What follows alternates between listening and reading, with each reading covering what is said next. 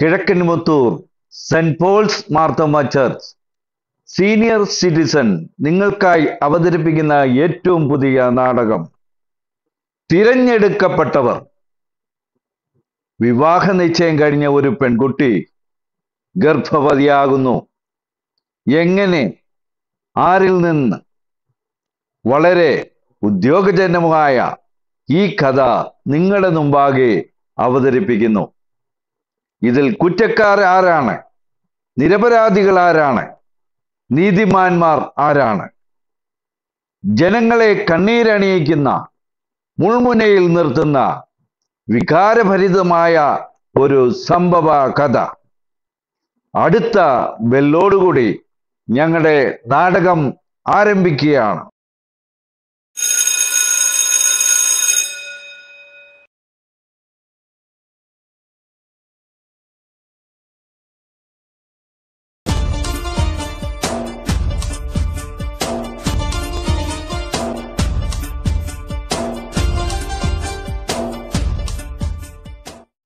അന്ന അന്ന എന്താ വിളിച്ചത്?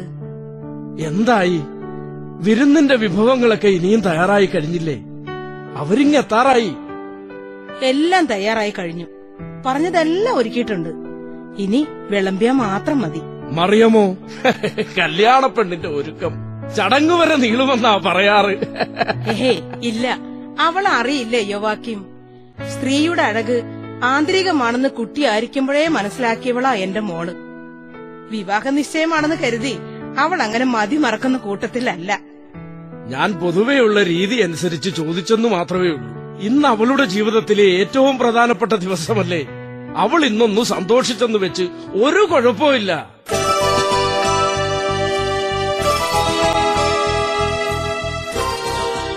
ആ അവരിങ്ങെത്തി. ചെല്ലേ എല്ലാവരോടും പറ. ഇനി എല്ലാം നല്ല ക്രമപ്രകാരം വേണം. ഒന്നിനും ഒരു കുറവും പിഴവും വരാൻ പാടില്ല. വന്നാട്ടെ വന്നാട്ടെ. ഞാൻ കുറച്ചു നേരമായി കാത്തിരിക്കുകയായിരുന്നു ഞങ്ങൾ വൈകിയോ യോവാക്യം? ഇല്ല. മനസ്സിലെ സന്തോഷം കൊണ്ട് കാത്തിരിപ്പൽപ്പം നേരത്തെയായി അത്രേ ഉള്ളൂ. എങ്കിൽ പിന്നെ ചടങ്ങ് നടക്കട്ടെ. എന്താ? അതെ അതെ. അതിനു മുമ്പ് എല്ലാവർക്കും ഒന്ന് പരിചയപ്പെടണ്ടേ? വേണം. ആ ഇത് അബ്രഹാമിന്റെയും ദാവീദിന്റെയും വംശപരമ്പരയിൽ ജനിച്ച മഥാന്റെ പുത്രൻ യാക്കോബ് ചെറുക്കന്റെ അപ്പൻ. ആ ഇത് യോവാക്യം. കുടുംബമഹിമയും പാരമ്പര്യവും ഒക്കെ ഞാൻ പറഞ്ഞിട്ടുണ്ട്. ഉണ്ട്. അത് ബോധിച്ചതുകൊണ്ടാണല്ലോ നമ്മൾ ഇങ്ങോട്ട് വന്നത്. അതെ. യോവാക്യം എങ്കിൽ പിന്നെ പെൺകുട്ടിയെ വിളിക്ക്. അതെ വിളിക്കാം. അന്നാ അന്നാ. ആ വന്നാട്ടെ വന്നാട്ടെ. ഇങ്ങോട്ട് നിന്നാട്ടെ.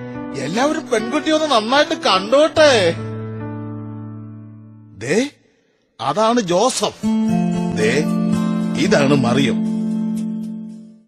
ഞങ്ങൾ പാരമ്പര്യത്തിൽ രാജാക്കന്മാർ വരെയുള്ള വംശമാണ്. അറിയാമല്ലോ എങ്കിലും വിധിച്ചത് മരപ്പണിയാണ്.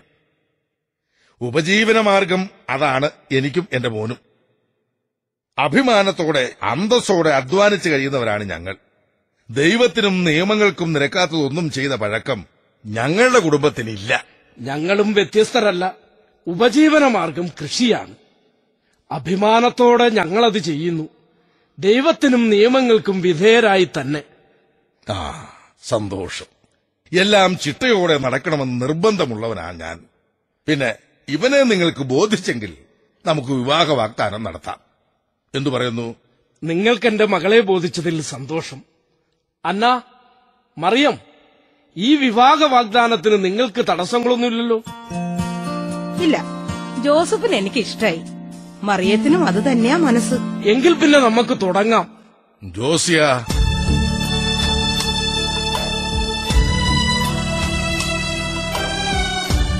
അബ്രഹാമിന്റെ വംശപരമ്പരയിൽ ജനിച്ച യാക്കോബിന്റെ പുത്രൻ നസ്രത്തിൽ വസിക്കും ജോസഫും. ലേവിയുടെ ഗോത്രത്തിൽപ്പെട്ട യുവാക്കീമിന്റെ പുത്രി മറിയവും തമ്മിൽ ദൈവനിശ്ചയപ്രകാരം വിവാഹം ചെയ്തു കൊള്ളാമെന്ന് ഇതിനാൽ വാഗ്ദാനം ചെയ്യുന്നു. വിവാഹോടമ്പടി നടന്നിരിക്കുന്നു. ഇന്നു മുതൽ മറിയൻ ജോസഫിന്റെ സ്വന്തമാണ്. വിവാഹനാൾ വരെ സ്വന്തം വീട്ടിൽ താമസിക്കുമെങ്കിലും മറിയത്തിന് ഇനി എല്ലാം ജോസഫാണ്. വരൂ വരൂ. നമുക്ക് അകത്തേക്ക് പോകാം. എല്ലാവരും വരൂ. എന്റെ ഈ എളിയ വിരുന്നിലേക്ക് എല്ലാവർക്കും സ്വാഗതം.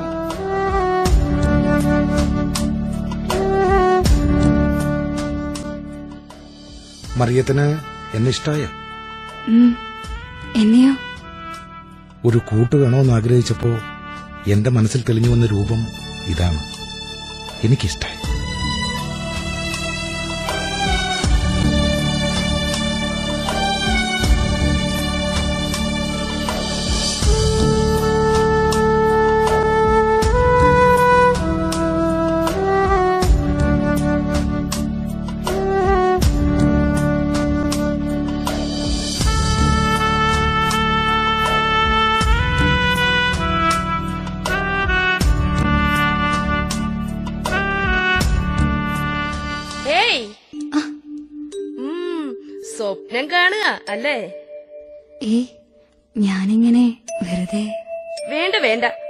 പറയാൻ നോക്കണ്ട. വിവാഹ നിശ്ചയം കഴിഞ്ഞ പെണ്ണ് സ്വപ്നം കണ്ടാൽ എന്താ തെറ്റ്? വേണ്ട. കളിയാക്കൾ ഇത്തിരി കൂടുന്നുണ്ട്. വിവാഹം മാത്രം സ്വപ്നം കണ്ട് നടന്നിരുന്ന പെണ്ണല്ല ഞാൻ. സമ്മതിച്ചു. പക്ഷേ ഇത്രയും നല്ല ഒരാളിനെ കിട്ടിയ സ്ഥിതിക്ക് ആ ദിവസം ഒന്ന് അടുത്തു വരാൻ ആരായാലും കൊതിക്കും. ഇല്ലേ? നല്ല പ്രശസ്തമായ കുടുംബം. ആവശ്യത്തിന് സ്വത്ത്. വിദഗ്ധനായ തൊഴിലാളി. അറിയോ? നാട്ടിലും പുറത്തുമൊക്കെ പേരെടുത്ത മരപ്പണിക്കാരനാ ജോസഫ്. സൗമ്യമായ പെരുമാറ്റം കേൾക്കാൻ ഇമ്പമുള്ള മധുരമായ സംസാരം സൗന്ദര്യമാണെങ്കിൽ പറയേ വേണ്ട. വെണ്ണക്കല്ലിൽ കടഞ്ഞെടുത്ത ശില്പം പോലെ ഏത് പെണ്ണും കൊതിക്കുന്നത് ഇങ്ങനെ ഒരാളെയല്ലേ? ഭാഗ്യവതി. മതി വർണിച്ചത്. ഇതൊന്നും നല്ല പെൺകുട്ടികൾക്ക് ചേർന്ന രീതിയല്ല കേട്ടോ? നിന്നോളം നല്ലതായിട്ട് ഈ ലോകത്ത് വേറെ പെണ്ണുണ്ടോ മോളെ? പറഞ്ഞത് ഞാനല്ലേ? ഞാൻ ഇത്തിരി മോശമാ. നിനക്ക് വേറെ ജോലിയൊന്നുമില്ലേ? ഉണ്ട്. എന്നാലും നിന്റെ അടുത്ത് ഇങ്ങനെ ചുറ്റിപ്പറ്റി നിൽക്കുമ്പോ മനസ്സിന് എന്തെന്നില്ലാത്ത ഒരു സന്തോഷമാ. നിന്റെ മുന്നിൽ നിൽക്കുമ്പോ ഞാൻ ഒരു ശിശുവിനെ പോലെയാകുന്നു. എന്റെ ഹൃദയം നിറഞ്ഞു തുളുമ്പും പോലെ. കണ്ണുകൾ അറിയാതെ നിറഞ്ഞു പോകും. ദൈവതേജസ് നിറഞ്ഞു നിൽക്കുന്നവളാണ് നീ. കടലോളം കനിവുള്ള സീനായ് മലയോളം വിവേകമുള്ള കളങ്കമറ്റ സ്ത്രീ. ഉത്തമ കന്യക എന്ന പേരിന് നിന്നോളം യോഗ്യത ഈ ലോകത്ത് മറ്റാർക്കുമില്ല. ഉഷകാല നക്ഷത്രത്തിന്റെ പൊൻതെളിച്ചം പോലെ മനോഹരിയാണ് നീ.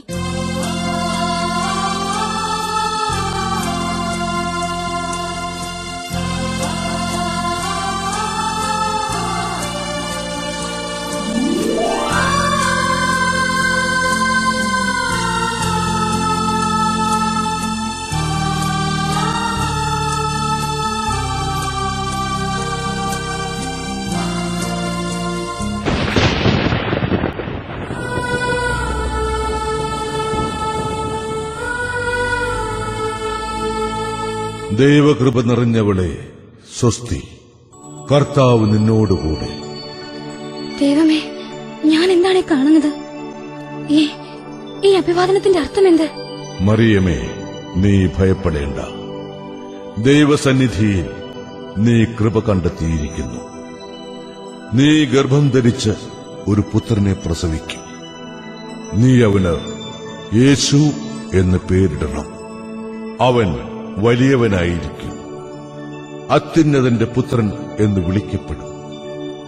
യാക്കോബിന്റെ ഭവനത്തിന്മേൽ അവൻ എന്നേക്കും ഭരണം നടത്തും. അവന്റെ രാജ്യത്തിന് അവസാനമുണ്ടാകുകയില്ല. ഇതെങ്ങനെ സംഭവിക്കും? ഞാൻ പുരുഷനെ അറിയുന്നില്ലല്ലോ. പരിശുദ്ധാത്മാവ് നിന്റെ മേൽ വരും. അത്യുന്നതന്റെ ശക്തി നിന്റെ മേൽ ആവസിക്കും. ആകയാൽ ജനിക്കാൻ പോകുന്ന ശിശു പരിശുദ്ധൻ ദൈവപുത്രൻ എന്ന് വിളിക്കപ്പെടും. ഇതാ നിന്റെ ചാർച്ചക്കാരി വൃദ്ധയായ എലിസബത്തും ഒരു പുത്രനെ ഗർഭം ധരിച്ചിരിക്കുന്നു. വന്ധ്യയെന്ന് പറഞ്ഞിരുന്ന അവൾക്ക് ഇത് ആറാം മാസമാണ്. ദൈവത്തിനൊന്നും അസാധ്യമല്ല. ഇതാ കർത്താവിന്റെ ദാസി. നിന്റെ വാക്ക് എന്നിൽ നിറവേറട്ടെ.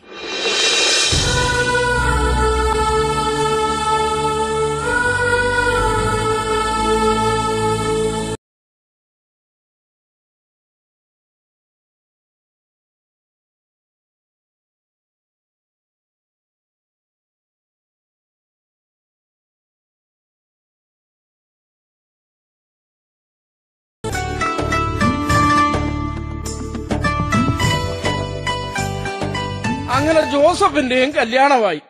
ഇവിടെ പണിക്ക് നിൽക്കുന്നതിൽ കല്യാണം കഴിക്കാത്തതായിട്ട് ഞാൻ മാത്രമേ ഉള്ളൂ. അതിൽ വിഷമിച്ചിട്ട് കാര്യമൊന്നുമില്ലടാ ഹാന. കല്യാണം എന്നൊക്കെ പറയുന്നത് ഒരു യോഗമാ. അതിനുവേണ്ടി എത്ര നാളായി കാത്തിരിക്കുന്നു? ഇനി അതിന്റെ ആവശ്യമില്ല നിനക്ക്. ഏ? ഉടനെ നടക്കുവോ? നീ എനിക്ക് വേണ്ടി പെണ്ണിനെ കണ്ടുവച്ചിട്ടുണ്ടോ? ആ എന്നിട്ട് വേണം ആ പെണ്ണിന്റെ അപ്പന്റെ ഇടി ഞാൻ കൊള്ളാൻ. എടാ ഒരു കുടുംബമായിട്ട് ജീവിക്കണമെന്ന് മോഹമുള്ളവൻ മാനം മര്യാദയായിട്ട് ജീവിക്കണം. മനസ്സിലായോ? എന്താണ് എന്റെ ജീവിതത്തിന് കുഴപ്പം? പറയടാ. ഏൽപ്പിക്കുന്ന ഏതെങ്കിലും ജോലി കൃത്യമായി ചെയ്യാൻ അറിയാവോ നിനക്ക്? തടിയേലുള്ള മുഴപ്പ് ചിന്തയിലിട്ട് നിറപ്പാക്കാൻ പറഞ്ഞ അത് ചിന്തയിലിട്ട് കുഴിയാക്കും. ഒരു കട്ടള കൂട്ടാൻ പറഞ്ഞ അത് കൂട്ടി വരുമ്പോ ഏങ്കോണിച്ചിരിക്കും. ദാ ഇങ്ങനെ. ഒരു കട്ടിൽ പണിത് കഴിഞ്ഞാ രണ്ട് കാലിന് നീളം കുറവായിരിക്കും. കയറി കിടന്ന ആടിക്കൊണ്ടിരിക്കും. ടക് ടക് ടക്. ദേ ലേവി വെറുതെ അനാവശ്യം പറഞ്ഞാലുണ്ടല്ലോ. ഇത് ഞാൻ പറയുന്നതല്ല. നാട്ടുകാർ മുഴുവൻ നിന്നെപ്പറ്റി പറയുന്നതാ. ആഴ്ചയിൽ ആറ് ദിവസം തികച്ച് നീ പണിക്ക് പോവോ? നിനക്ക് എല്ലാ തിങ്കളാഴ്ചയും മുടക്കമാ. എന്താ കാര്യം? ഞായറാഴ്ച വീഞ്ഞുശാലയിൽ കിടന്നു പോകും. പിറ്റേന്ന് തല പൊങ്ങില്ല. വിട്, വിടാനാ പറഞ്ഞത്. നിന്നെ ഞാനിന്ന് കൊല്ലും. എന്താ ഇത്? വിട്. വിടാനാ പറഞ്ഞത്. നീ ഇത് കേട്ടില്ലടാ ജോസഫേ. എന്നെ പറ്റി അനാവശ്യങ്ങളൊക്കെ പറഞ്ഞു വരത്തി എന്റെ കല്യാണങ്ങൾ മുഴുവൻ കലക്കി കളയുന്നത് ഈ മരംകൊത്തിയാ. ഇവൻ ഒറ്റൊരുത്തരെ എനിക്ക് പെണ്ണ് കിട്ടാതിരിക്കാൻ കാരണം. അവൻ അങ്ങനെ ഒന്നും ചെയ്യില്ല. നിനക്ക് ദൈവം ഒരു പെണ്ണിനെ കരുതി വെച്ചിട്ടുണ്ട്. സമയമാവുമ്പോ അവൾ നിന്റെ മുന്നിലെത്തും. ഇവന് കെട്ടിച്ചു കൊടുക്കുന്നതിലും ഭേദം അവർക്ക് ആ പെണ്ണിനെ കടലിൽ കൊണ്ടുപോയി കല്ല് കെട്ടി താഴ്ത്താൻ പാടില്ല. നിന്നെ ഇന്ന് ഞാൻ മതി. മതി വഴക്കടിച്ചത്. വെറുതെ ഓരോന്ന് പറഞ്ഞ് തമ്മിലടിച്ച. അപ്പം വരുമ്പോ രണ്ടാൾക്കും കിട്ടും. പറഞ്ഞേക്കാം. ഞാൻ വഴക്കടിച്ചതല്ല. ഇവന്റെ കുഴപ്പം ഇതാ. എടാ ആലോചനയുമായി ചെല്ലുമ്പോ പെൺവീട്ടുകാർ നമ്മളെ കുറിച്ച് അന്വേഷിക്കും. നാട്ടിൽ ചീത്തപ്പേരുണ്ടെങ്കിൽ അവരുടെ ബന്ധം സ്ഥാപിക്കില്ല. ജോസഫിനും അറിയത്തെ പോലെ സൽസ്വഭാവിയും സൗന്ദര്യവുമുള്ള ഒരു പെൺകുട്ടിയെ കിട്ടിയത് അവന്റെ സ്വഭാവ ഗുണം കൊണ്ടാ. നീ ഭാഗ്യവാനാടാ ജോസഫേ. നിന്റെ ശുദ്ധമായ ജീവിതം കൊണ്ട് നിനക്ക് കിട്ടാൻ പോകുന്നത് ഒരു അനുഗ്രഹീതമായ ജീവിതമാണ് മറിയം ഭാര്യയായി വന്ന നിന്റെ കുടുംബം സ്വർഗം പോലെയാകും. ഇല്ല. ഈ കല്യാണം നടക്കില്ല. അപ്പ അപ്പൻ എന്താ പറഞ്ഞത്? പറഞ്ഞത് കേട്ടില്ലേ? നീയും യോവാക്യമിന്റെ മകൾ മറിയവും തമ്മിലുള്ള വിവാഹം നടക്കില്ല എന്ന്. എന്താ? എന്താ അതിന്റെ കാരണം? കാരണം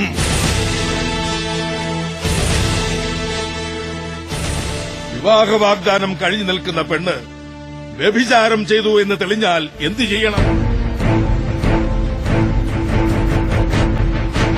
അതിന് പകരം വീട്ടിയിട്ടേ ഉള്ളൂ. ഇനി ബാക്കി കാര്യം.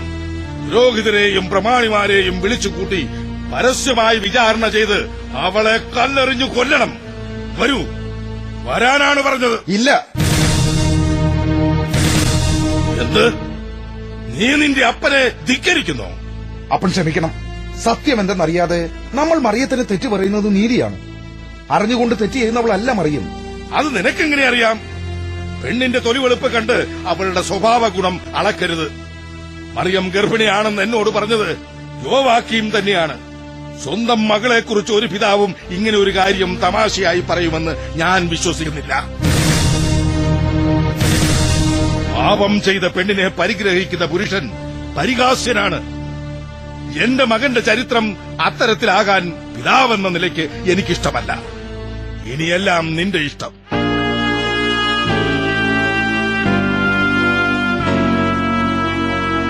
ജോസഫ് അപ്പം പറയുന്നത് തന്നെയാ ശരി.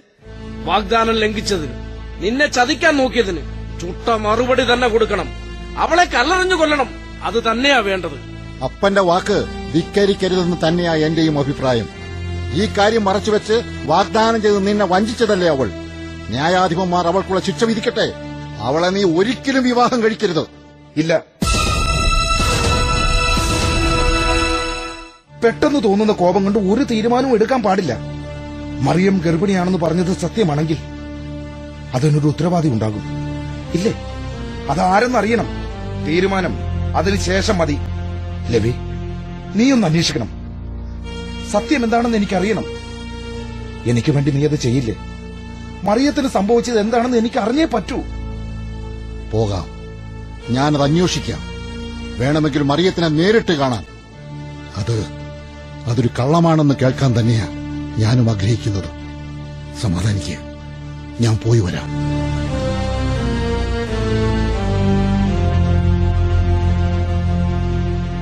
ജോസഫ് വെറുതെ പാഴ്വേല എടുക്കണ്ട. പോയി പരാതി ബോധിപ്പിക്കേ. മിണ്ടാ പൂച്ചയെ പോലെ നടന്നവളുടെ തനിനിറം എല്ലാവരും കാണട്ടെ. നിർത്ത. ഈ കാര്യത്തിൽ എനിക്ക് നിന്റെ അഭിപ്രായം കേൾക്കണ്ട. എന്തു വേണമെന്ന് എനിക്കറിയാം. പോ. കടന്നു പോകാൻ.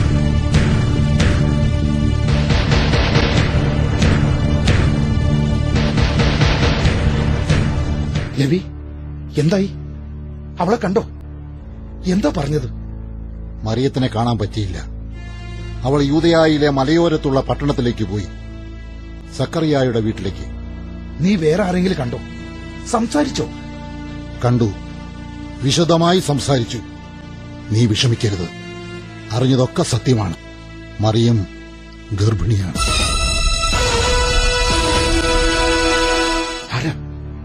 ആരാ അതിന് ഉത്തരവാദി? ദൈവഭയത്തോടെ സത്യസന്ധയും നിഷ്കളങ്കയുമായി വളർന്ന കന്യകയാണെന്നല്ലേ പറഞ്ഞത്. അപ്പോൾ അവൾ അതിന്റെ സത്യം പറയില്ലേ? അവൾ അത് പറയാതിരിക്കുന്നില്ല. പക്ഷേ ആരാ?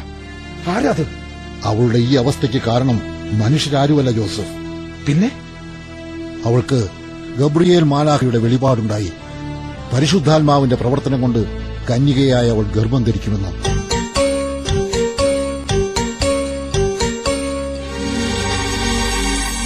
പരിശുദ്ധാത്മാവിനാലോ? ഇതൊക്കെ ഇതൊക്കെ ആരാ വിശ്വസിക്കുന്നത്?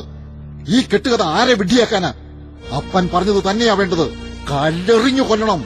ഇല്ല ഇല്ല ഞാനിതിന് കൂട്ടു നിൽക്കില്ല പിന്നെ നീ എന്ത് ചെയ്യാൻ പോകുന്നു?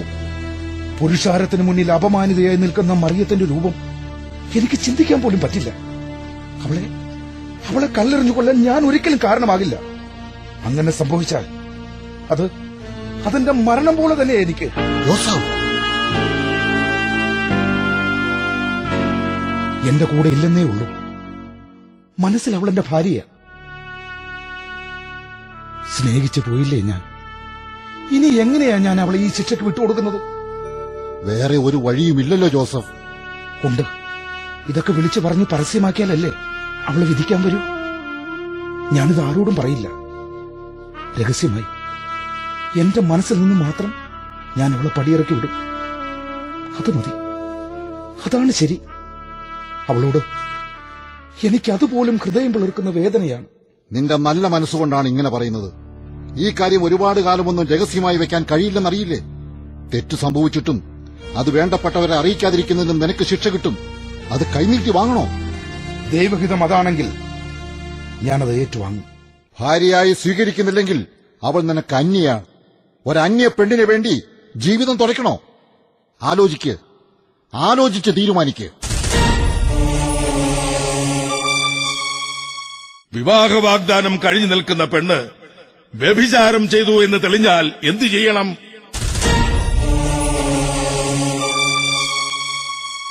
ജോസഫ് അപ്പം പറയുന്നത് തന്നെയാ ശരി. വാഗ്ദാനം ലംഘിച്ചതിന് നിന്നെ ചതിക്കാൻ നോക്കിയതിന് ചുട്ട മറുപടി തന്നെ കൊടുക്കണം. അവളെ കല്ലെറിഞ്ഞു കൊല്ലണം. അത് തന്നെയാ വേണ്ടത്. ഇല്ല.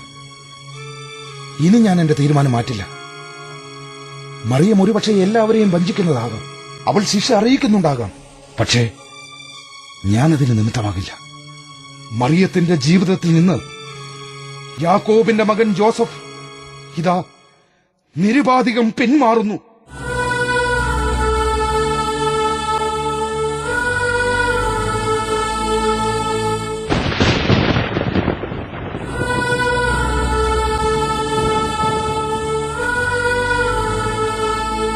ദാവീദിന്റെ പുത്രനായ ജോസഫ്.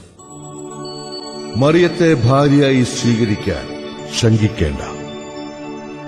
അവൾ ഗർഭം ധരിച്ചിരിക്കുന്നത് പരിശുദ്ധാത്മാവിൽ നിന്നാണ്. അവൾ ഒരു പുത്രനെ പ്രസവിക്കും. നീ അവന് യേശു എന്ന് പേരിടണം. എന്തെന്നാൽ അവൻ തന്റെ ജനത്തെ അവരുടെ പാപങ്ങളിൽ നിന്ന് മോചിപ്പിക്കും. ഇത്? ഇത് സ്വപ്നമാണോ? അതോ യാഥാർത്ഥ്യമോ? ഞാൻ കേൾക്കാൻ കൊതിച്ച വാർത്ത അരുളപ്പാടായി ദൃശ്യമാക്കി എന്റെ മനസ്സെന്നെ തെറ്റിദ്ധരിപ്പിക്കുന്നതാണോ? ഇല്ല. ഇത് സ്വപ്നമല്ല. സത്യമാണ്. ദൈവം തന്റെ തീരുമാനം ദൂതനായ മാലാഖ വഴി എന്നെ ബോധ്യപ്പെടുത്തിയതാണ്. ഇത് ഞാൻ വിശ്വസിക്കുന്നു. ഈ വചനം എന്റെ ജീവിതത്തിന്റെ വഴിത്തിരിവാണ് എനിക്കിനി ഒരാശങ്കയുമില്ല. ഇല്ല. അതെല്ലാം മാറിപ്പോയിരിക്കുന്നു. മറിയം എന്റേതാണ്? ജോസഫിന്റെ ഭാര്യയാണ്. പിറക്കാൻ പോകുന്ന രക്ഷകന്റെ മാതാപിതാക്കളാണ് ഞങ്ങൾ. യേശുവിന്റെ മാതാപിതാക്കൾ.